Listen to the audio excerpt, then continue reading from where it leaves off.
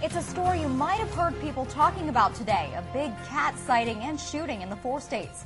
This is KOAM News at 10. I'm Erica Edwards. And I'm Doug Quick. We have the big cat caught on camera so you can judge the mystery animal for yourself. Meanwhile, life is getting back to normal for the Newton County family that ran into the creature. KOAM's Jordan Abbey talked with the family and has more on what happened. Doug, many animals were displaced from the May 10th tornadoes, and authorities think this may be the case for this cat. But this family didn't want this animal displaced in their yard near Neosho.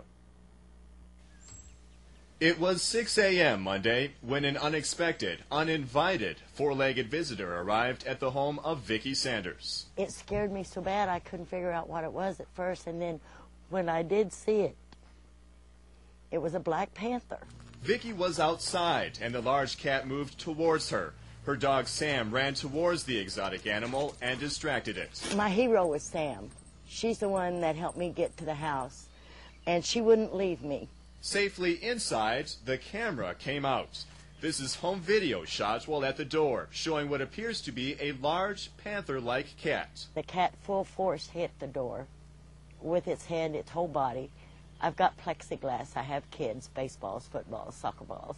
So I put plexiglass in, which I think I'll keep in all of my windows. The family called 911, and when a sheriff's deputy arrived, the animal started moving towards him. It left the deputy with no other option other than to shoot the big cat dead.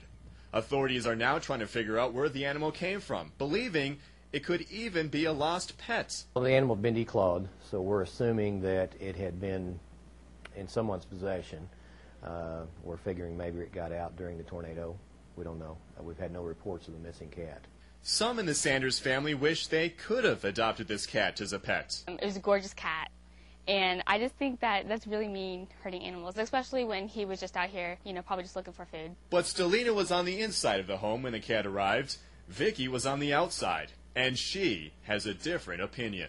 It was declawed, but it had teeth. And it was hungry, I'm sure.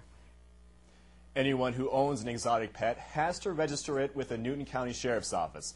Now, as for this 50 pound mystery cat, conservation officials say it's either a leopard or a jaguar. But more tests are needed to figure out its exact species. In either case, quite a surprise to see that thing on the doorstep. Jordan Abbey, thanks.